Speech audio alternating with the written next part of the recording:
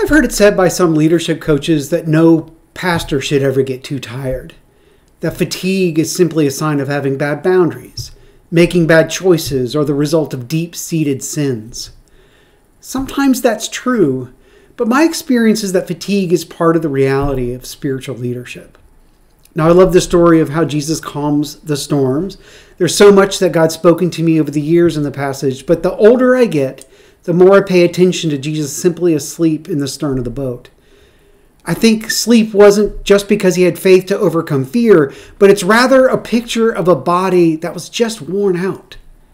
The context of the story finds Jesus teaching and healing. There's huge crowds following and pressing around him everywhere he goes.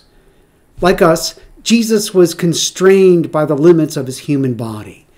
Just can't keep his eyes open any longer. Now, there's inherent fatigue that comes as part of the work to which we're all called. It's emotionally and spiritually exhausting to be present to people in their grief, their personal and relational breakdowns, their theological deconstruction, and just plain sinful choices. And all of that is on top, of the, on top of the cycle of weekly services that we care for.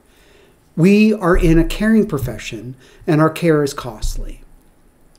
Now, I've always loved the story of Mark 6, where Jesus has gathered his disciples together as they've come back from their first time out in pairs to proclaim the kingdom. They're excited, they're full of stories, full of themselves, and like all mission trips, they're worn out. Now, Jesus pays attention.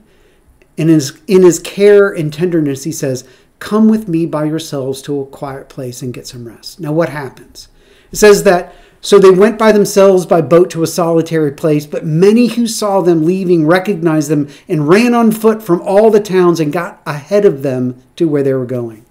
The people invaded their retreat center. Now, has that ever happened to you? Sometimes I go to a coffee shop to get away from my computer and my phone. It's a chance to recharge, to read, to journal. More than once, I've had people who know me make themselves at home at my table grateful to have a pastor to talk to. Now, Jesus' example in moments like this is that he had compassion on them because they were like sheep without a shepherd. Love required in that moment that he give them what they needed spiritual and physical nourishment. So, yes, sometimes our work requires more of us than our bodies have. But having said that, let me be quick to say that no mature leader is exhausted all of the time.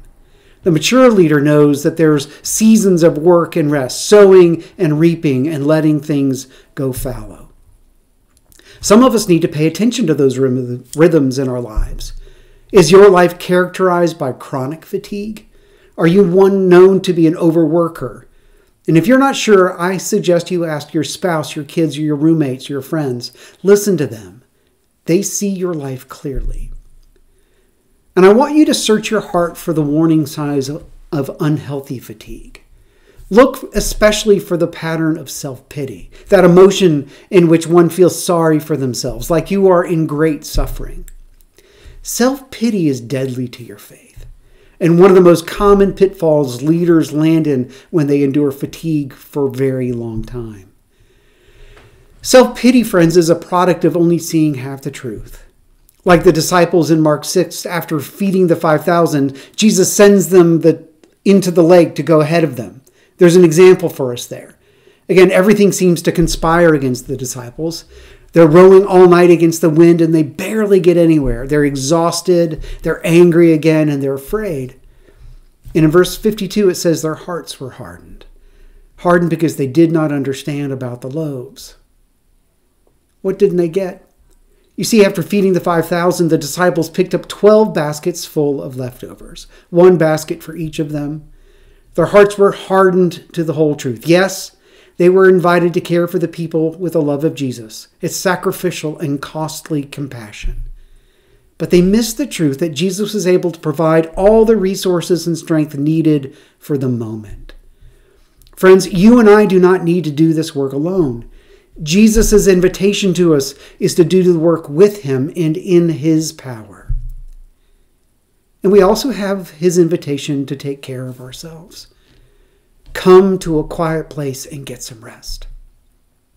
We need to carve out times for real Sabbath, unencumbered times of physical, emotional, relational, and spiritual rest. Would you take a few moments this week to walk through the reflection questions I provided? What is your level of fatigue right now?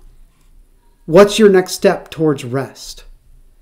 Are you in trouble, perhaps stuck in self pity?